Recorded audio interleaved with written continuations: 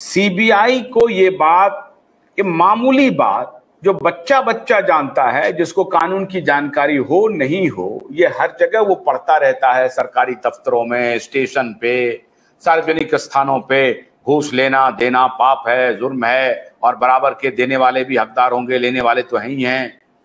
इसको उन्होंने क्लॉज में नहीं रखा। तो भाई ये सीबीआई को इमीडिएटली बैन कर दो। और ये जो सैक्रोसैंक्ट इंस्टीट्यूशन आपने बरकरार किया हुआ है कि सीबीआई चली गई तो आपको लग रहा है कि बाबर बहुत बड़ा महान काम हो जाएगा। ये कुकर्मी ऑर्गेनाइजेशन है और ये कुकर्मी ऑर्गेनाइजेशन के दो सबूत मैं आपको दे रहा हूँ।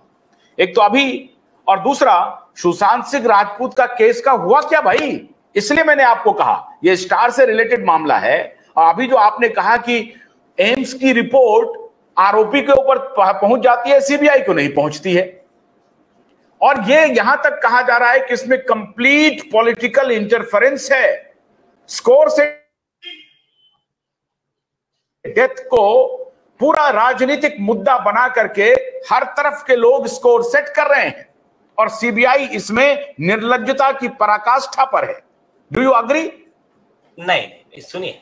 देखिए सीबीआई के कुछ अधिकारी गलत होने की वजह से सीबीआई पूरी बुरी नहीं है। सीबीआई ने कई अच्छे काम किए हैं और कई लोगों को सजा दिलवाई है उनको उनके सही मकाम पे पहुँचाया है। आपको मैं लिस्ट दे सकता हूँ। अगर आपको बाकी दूर मत जाने दीजिए मैं सिर्फ़ एक ही एग्जांपल देता हूँ।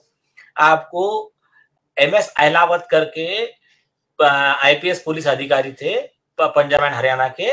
उन्होंने एक झूठ मैं आपको कुछ लिस्ट दे देता हूँ। हाँ। जेसिका लाल मर्डर केस आपको याद है ना साहब?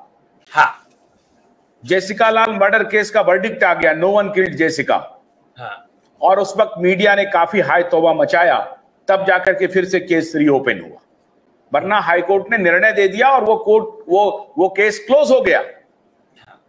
आज जेसिका की जो बहन थी वो व्यक्तिगत रूप से मेरे साथ कई बार व्यक्तिगत रूप से कई बार मैं उससे मिला वो बहुत फाइट करती रही। आखिर में उसका भी डेथ हो गया सबरीना लाल का।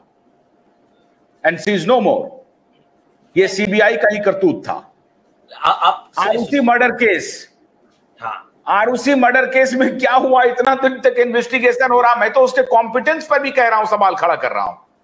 उसके कॉम्पिटेंस पर भी सवाल खड़ा कर रहा हूँ। आरुषि मर्डर केस आज तक हिस्ट्री बनी हुई है। आज तक मिस्ट्री बनी हुई है। और वो एक बहुत बड़ा हिस्ट्री भी बन गई है। उसमें तो वो भी बन गया। तो केस मैं गिना सकता हूँ साहब। सुनिए सुनिए। मैं आपसे एग्री हूँ सुनिए। लेकिन कौन से बात के लिए? कि इसमें के कई अधिकारियों ने गलतियाँ की है सबके वो ठीक है पर इसका मतलब ये नहीं कि सीबीआई बैन कर दो। आ, उसका देखो क्या है problem well stated is problem half solved तो उसका अच्छे से एनालिसिस करो। दूसरी चीज़ आप उसमें सॉल्यूशन निकालो। जैसा हेनरी फोर्ड ने कहा है स्वामी विवेकानंद ने कहा है don't find fault find remedy तो उसके सोल्यूशन है। सोल्यूशन ये है कि आप आईपीसी 218 वगैरह जो सेक्शंस है, जो इन अधिकारियों को सजा का ये करते हैं, आपको पता है कि सीबीआई ने खुद के अधिकारी को अरेस्ट किया है। तो ऐसा नहीं है। तो जो इसमें जो प्रोविज़न है, उसको स्ट्रांग करो, उसको इम्प्लीमेंट करो और ट्रांसपेरेंसी लाओ। तो ये जो होगा ना तो तब तो ये मतलब चीज़ें बहुत हिसाब से बहुत हद तक कंट्रोल में आएँगी और you're gonna give uh, a speech in time will save nine.